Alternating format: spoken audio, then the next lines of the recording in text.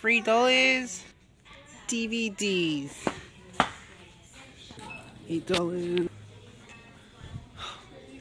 Fifteen dollars. Fifteen dollars as well. What else am I supposed to do in here? Barge through the aisles. I've always been here every time I go to Traralgon. This is the last stop. Toys.